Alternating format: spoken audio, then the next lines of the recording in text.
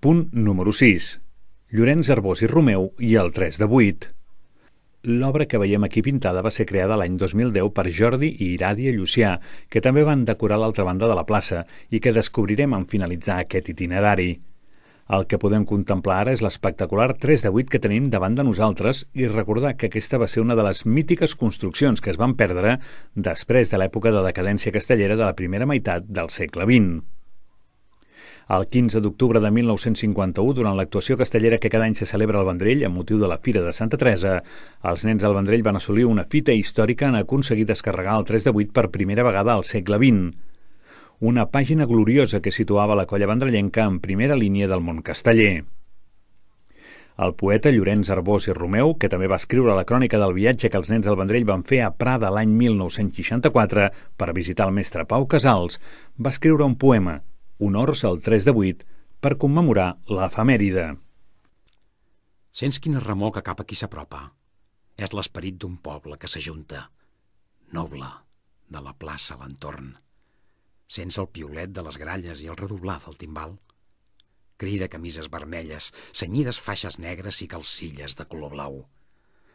Apinyats tots a la plaça, de sota del balcó, col·loquen baixos en traça els crosses, de dos en dos, van formant el gros piló. Pugen segons, homes fornits pel gros castell, homes de seny. Els agulles els empunyen perquè no es belluguin gens. Terços i quarts ja han pujat. Ells són els de l'equilibri i força, igual que el ferro forjat, que no es doblega ni arronsa. Pilars amunt pugen els quins. Joventut i alegria. Serà que tinguin ales? Serà que el cel els estira? Dos jovenets decidits s'enfilen amb lleugeresa a poc a poc els han dit, mentre el castell brandeja. Arrapat com una aranya, aixancarrat l'aixecador i l'enxaneta amb un s'afanya. El castell s'enlaira. Fort. I arriba a dalt amb manya, aixeca el braç amb neguit i el gentiu de la plaça s'arrenca victoriós crit. Són els nens del Vendrell. El gros castell ja han lograt. Ells han tornat la glòria del segle d'or passat. Orgull de la raça nostra, d'aquest vell baix penedès, símbol d'una gran proesa, a tots quatre ben estès. Després d'aquesta lectura continuem avançant pel carrer Major i girem a l'esquerra en arribar al carrer Carnisseria. Des d'aquest agafem el primer carrer que ens trobem a la dreta, al carrer Racó, i continuem tot recte fins a arribar, en pocs metres, a la plaça de les Garrofes, des d'on ja podem veure la plaça Nova, el següent punt de l'itinerari. Punt número 7. Plaça Nova. El Museu Déu i Salvador Palau Rovira. La plaça Nova és un dels espais més cèntrics de la vila, Presidida per una estàtua de Pau Casals, just darrere d'aquesta obra trobem el Museu Déu, un altre dels equipaments museístics del Vendrell que mereix la pena ser visitats. Aquest lloc, però, ens serveix per recordar un altre il·lustre personatge, l'advocat Salvador Palau Rovira, amb qui ja hem contactat abans en fer referència a Salvador Espriu. Salvador Palau i Rovira va ser un dels considerats castellers de corbata, un grup d'intel·lectuals, administratius, advocats i altres professionals que es va incorporar a la Junta de la colla local cap als anys 60 i que es va encarregar, entre altres qüestions, dels tràmits administratius, de la contractació de la colla i de la promoció i publicitat en els mitjans de comunicació. Aquest repartiment de tasques va permetre dissenyar una nova estructura de gestió, la qual cosa va permetre a Jean Julibert dedicar-se en exclusiva a les qüestions tècniques i alliberar-se de moltes altres feines de tipus administratiu. A continuació escoltarem un fragment de l'advocat on descriu amb precisió què són els castells. Un castell és la perfecta coordinació de força, habilitat i equilibri en compensada harmonia. Per aixecar un castell s'ha de posar la mateixa cura en la formació de la pinya, que aquesta és l'autèntica base o fonament del castell. Damunt de la pinya pugen els sòlids i forçuts segons, i després, els components dels altres pisos, cada vegada més lleugers, fins a arribar al cim, o sigui, al pom de dalt, constituït per els dosos, l'aixecador que es posa jupit damunt d'aquells i l'enxaneta que travessa per l'esquena de l'aixecador coronant el castell. Però encara hi ha més. També són necessaris els qui rodegen la pinya i tot falcant-la aguanten les cames dels segons, al mateix temps que fan de coixí per cas de caure al castell. Una colla la fan un centenar llarg d'homes. Acabada l'audició i, si ens situem d'esquena a la porta d'entrada al Museu Déu, hem de continuar avançant cap a l'esquerra. En tan sols uns 20 metres arribarem al següent punt, la Casa Nadiua de Pau Casals. Punt número 8. Pau Casals i els castells. Pau Casals va tenir una forta vinculació al llarg de tota la seva vida amb l'activitat castellera i especialment amb la colla dels nens del Vendrell. Organitzador i promotor de concursos, defensor i espectador habitual en diades castelleres, els sentiments de Casals cap al món dels castells va ser una constant que va conservar sempre.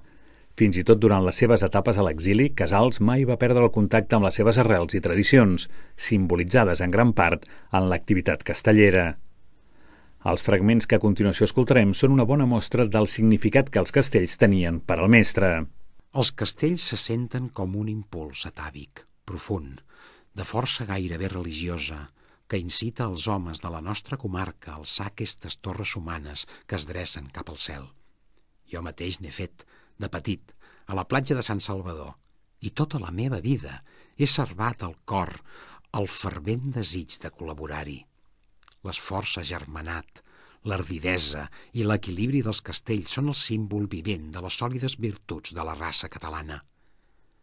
Com a vendrellenc, Admiro els castells i em commouen molt. Recordo perfectament el concurs de 1932, en el qual vaig presidir el jurat qualificador. Estic molt content per recordar la festa de la nostra terra. Els sentiments i ideals castellers es conserven i desitjo que continuïn.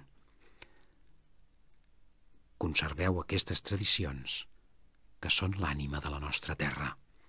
Just al costat de la casa nadiua de Pau Casals ens trobem amb la casa pairal d'un altre dels grans personatges vinculats a la vila del Vendrell, Àngel Guimarà. També ell va deixar constància de la seva relació amb els castells. És el que descobrirem en el següent punt de l'itinerari.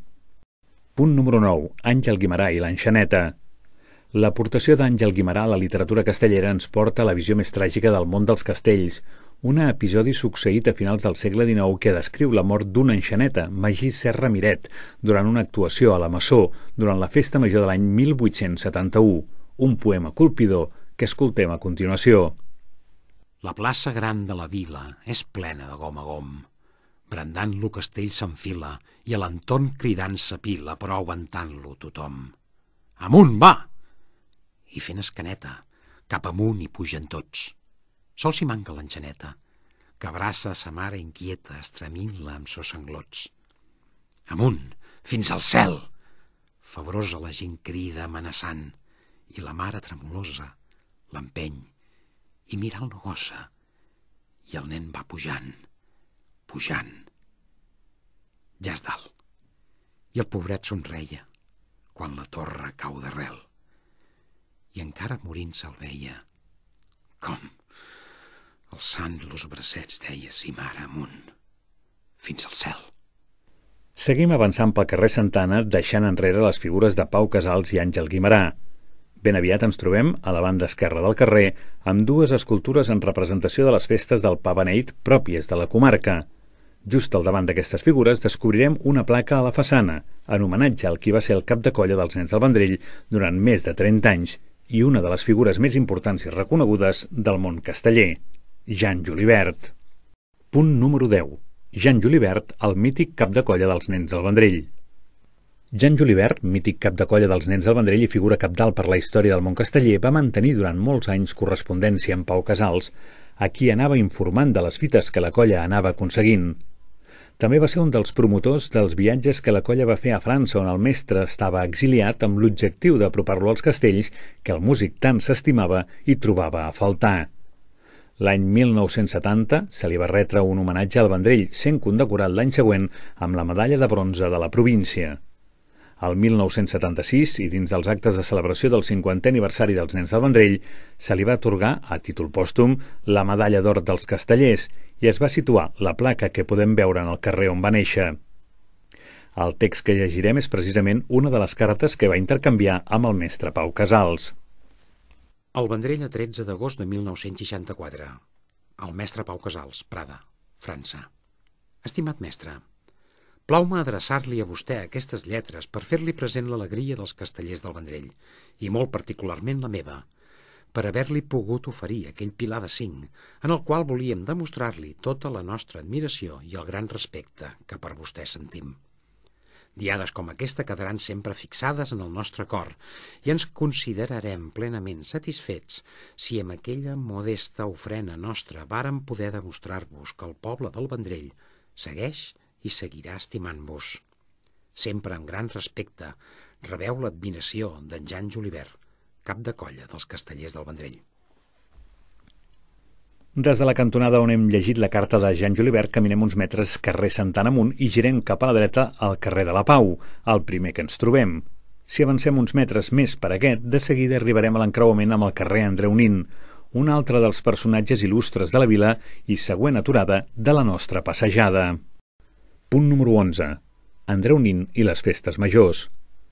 Andreu Nin va escriure l'any 1910 un text molt crític amb l'orientació que estaven prenent les festes majors durant aquells anys. El fragment que escoltarem reflecteix aquest sentiment, amb una dura crítica a una tendència que semblava anar-se imposant i que feia perdre les essències del que havien estat les festes majors. Nin fa esment, entre altres aspectes, a la importància que l'actuació dels xiquets de Valls tenien dins del conjunt de la celebració, reivindicant el retorn a un tipus de celebració perdut, ple d'esplendor, que ens permet entendre el que les actuacions castelleres significaven dins la festa. Les festes majors han perdut per complet el segell característic que les distingia i fins sembla arribat el moment decisiu de llur total desaparició. Els xiquets de ball són, únicament, burda paròdia d'aquella gent coratjosa i forçuda cantada per en Clavé, els balls populars s'han sigut, quasi per enter, desterrats a l'oblit i sols en alguna població passegen grotescament pels carrers. Figures carnavalesques orfes de la significació popular que en aquells caracteritzava. La gralla, que no faltava en cap festa popular i en quines pinguet tan escaientes resultaven les festives notes del toc de processó la melangiosa i expressiva tonada de les matinades i la música admirablement descriptiva dels xiquets de valls i la bellíssima de l'ofertori i de l'adoració. S'han convertit en barruera imitació del clarinet. Quan més ens ha impressionat el toc de la gralla és de lluny oïda en la tarda d'un jorn festiu, que tot és quietud, passejant pels afores de la vila, buscant repòs a l'esperit, quan el sol fugint a la posta escampa sa daurada llum, matisant arbres i muntanyes amb dolça melangia. En aquestes condicions, quanta poesia i sentiment desperten l'ànima. Així parlava en Jaume Ramon, un dels seus notables treballs. Quina fora la decepció del malaurat escriptor brandrellenc si avui sentís l'instrument que tan tendres emocions despertava en son esperit, entonant pataneres i música sarsolera. Ens ha sigut vedada la superba visió d'una plaça amarada de sol i corulla de bigarrada multitud que, amb àvida mirada, contempla els arriscats exercicis dels cerdits xiquets de valls i en son lloc, les senyores, a la sortida d'ofici, han exhibit, davant dels rostres admirats de la gent senzilla i dels joves cursits sevillats a la Dernier, les ridícules vestimentes amotllades a la última moda parisenca. Acabada l'audició d'aquest crític escrit de 1910, continuem caminant pel carrer de la Pau, deixant a les nostres esquenes el carrer d'Andreu Nin. De seguida se'ns obre, a la nostra dreta, la plaça de Pep Jai, un espai de grans dimensions que porta el nom d'un altre personatge molt significant de la vila del Vendrell i del món casteller,